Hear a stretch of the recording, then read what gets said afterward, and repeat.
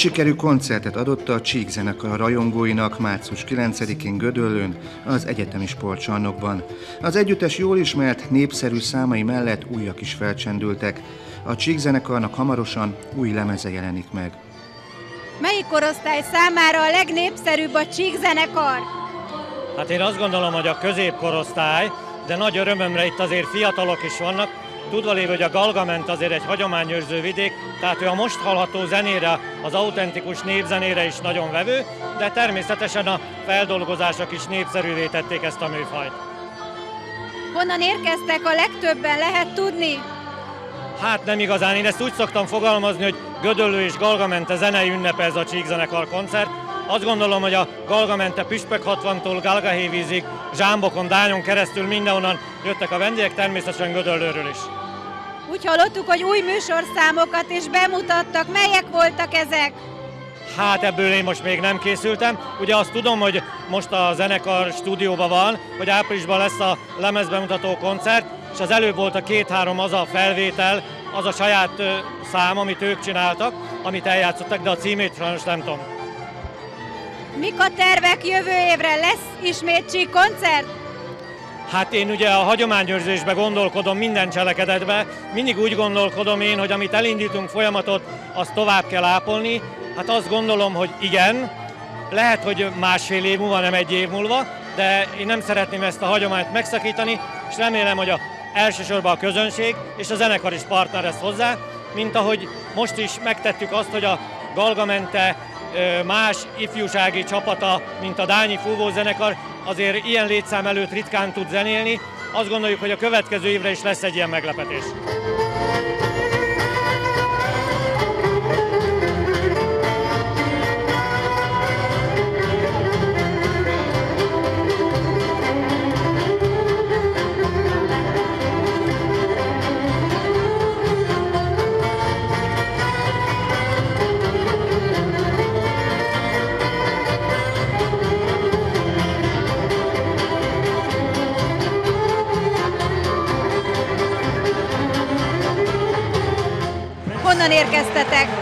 Galga Hévízről.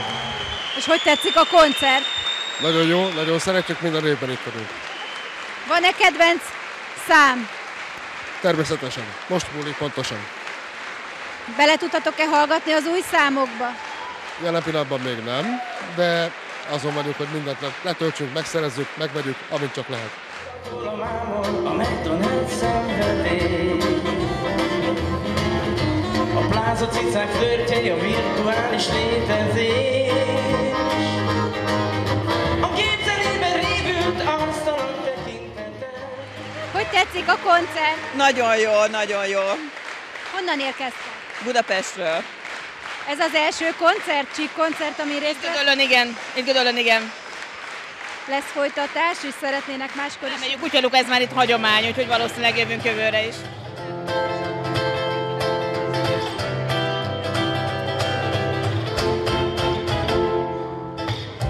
Születtem, érkeztem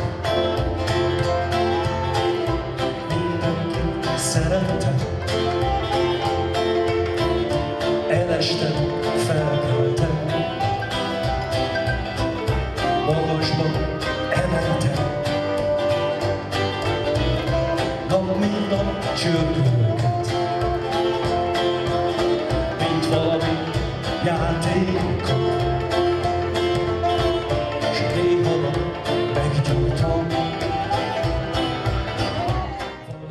koncert nem csak a közönségnek nyújt élményt, hanem magának a zenekarnak is. Meg tudná fogalmazni ezt az élményt? Igazándiból ez a közönségnek az inspiráló erejétől is függ nagyon.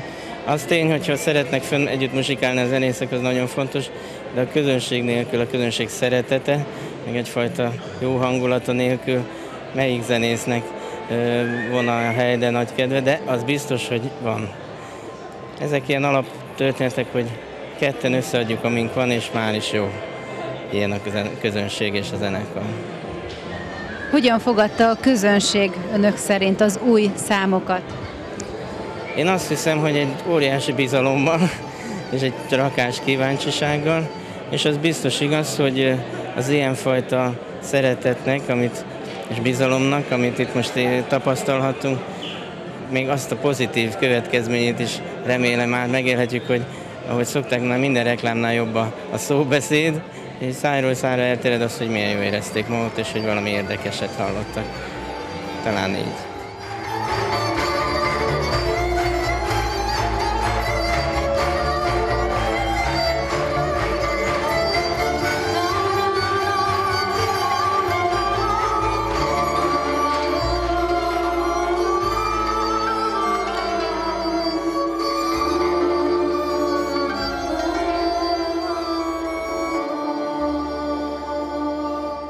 Csíkzenekar egyik meghatározó hangja, beleszületett vagy képzett hang? Hát egyrészt azt mondhatom, azt gondolom most már, hogy valóban velem született egy része, de azért képzés is van. Bodza Klára volt a tanárnőm, akihez jártam jó pár évig, és még azért időnként kérek tőle tanácsot a mai napig is. Okozott-e nehézséget a most összeállított, illetve az új lemeznek a dallama és a dalszövege?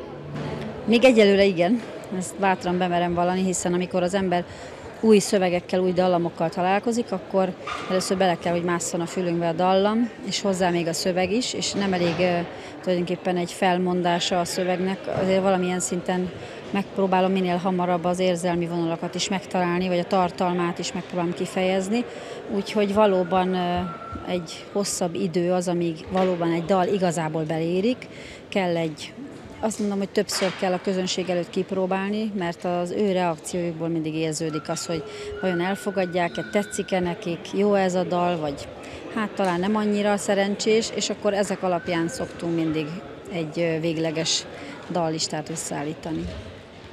Ha azt mondjuk csak, hogy népzene, az nagyon általános tud lenni, de Tudjuk-e a tájegységenként esetleg meghatározni, hogy most éppen melyik tájegységnek a népzenéjét veszik alapul önök?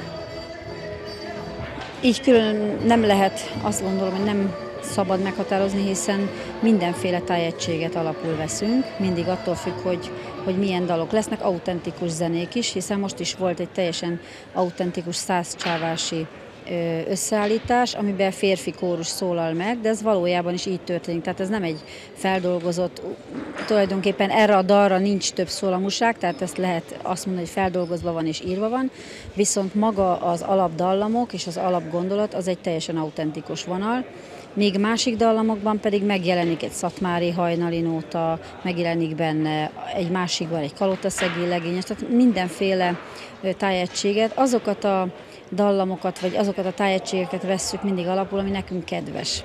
Vagy nagyjából azért igyekszünk az lefedni minél több tájegységet bevonva, hiszen ha az ember csak egy valahonnan táplálkozik, az egy idő után azért kimerül.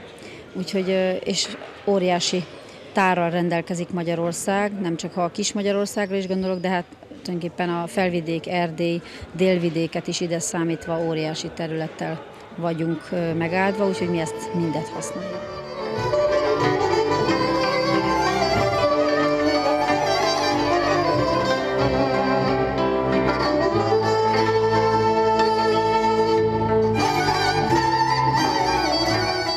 Nagyon-nagyon jól éreztem magam, és nagyon jó volt itthon játszani.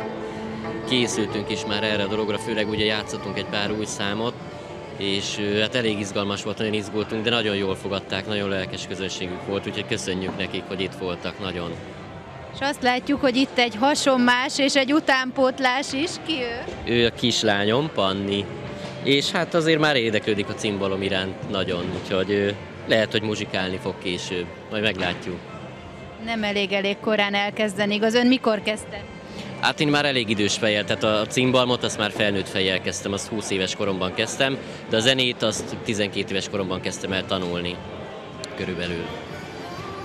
És hogy érzi itt a Csík zenekarban teljesedett ki az az elképzelés, ami valamikor megszületett a fejében?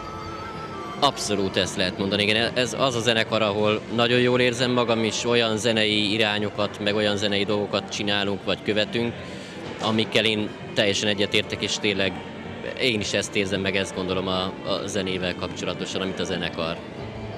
Mit tudott ön hozzátenni a most kiadandó új CD-hez? Lesz rajta két szám, amit én állítottam össze, illetve én találtam ki, hogy hogy legyen, valamint hát szokásosan zenei ötletekkel, különböző kis trükkökkel, ilyenekkel, amiben tudok, segítek én is. És a saját fiam csak úgy rám legyén, mikor senki sincs és nem is lesz. Te majd kézen fogsz és hazavezel.